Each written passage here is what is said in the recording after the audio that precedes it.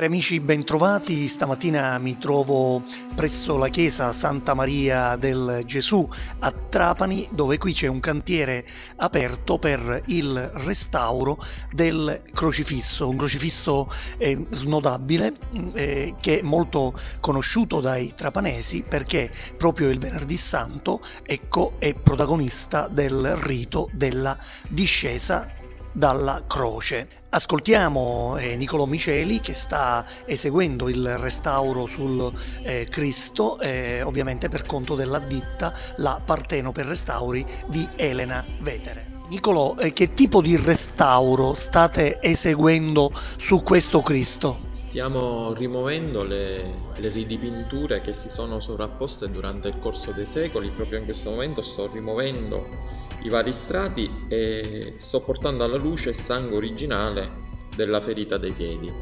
Questo è un restauro conservativo che ovviamente ehm, sarà svolto su questo crocifisso molto importante eh, dobbiamo dire grazie sicuramente alla sensibilità di un club, il Lions Club, che ha finanziato totalmente i costi del restauro.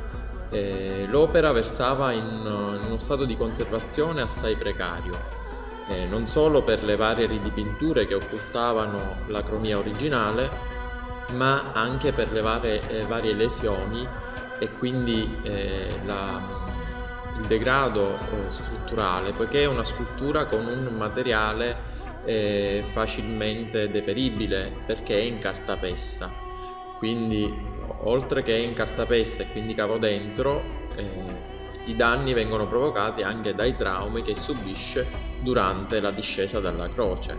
Ci vuoi parlare così per sommi capi ecco, di questo rito molto antico della discesa dalla croce che si svolge il venerdì santo qui su questa chiesa? Il rito della discesa dalla croce è un rito molto antico.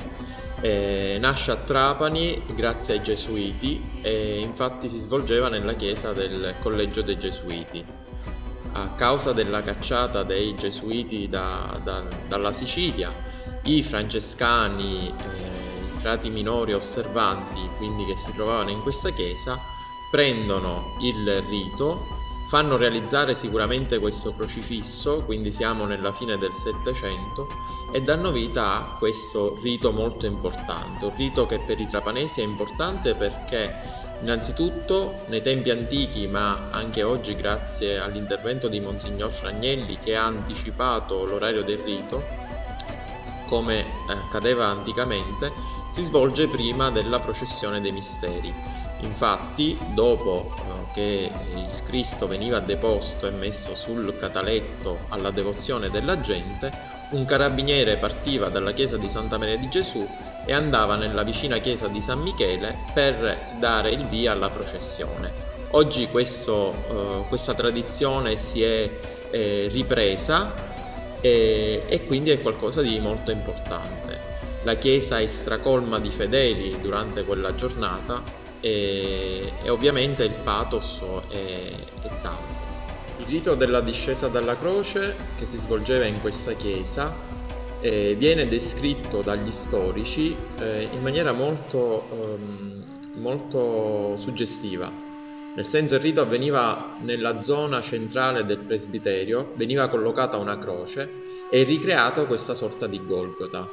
Tra l'altro a questo crocifisso venivano aggiunte ai piedi delle sculture sempre in cartapesta e coeve che sono state ritrovate di recente da Don Giuseppe Bruccoleri che è il parroco della parrocchia di San Pietro e nonché rettore di questa chiesa, e sono le sculture dell'Addolorata, di San Giovanni e della Maddalena.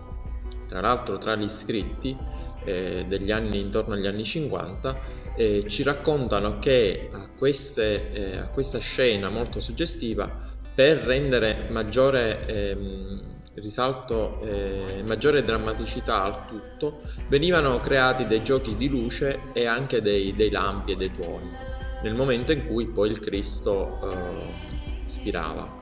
Infatti eh, questo Cristo, oltre ad avere le braccia snodabili, quindi eh, possibile da, da, da, discendere dalla croce, ha anche il capo reclinabile. Ricordo a tutti gli amici che il cantiere in questa chiesa Santa Maria del Gesù rimarrà aperto da martedì a venerdì dalle ore 9 alle 11.30. Ringrazio sentitamente Nicolo Miceli per questa illustrazione e la Partenope Restauri che sta seguendo questo restauro su questo Cristo e ringrazio anche il rettore di questa chiesa che ci ha consentito di fare questa intervista. Grazie a tutti, vi saluto, un abbraccio.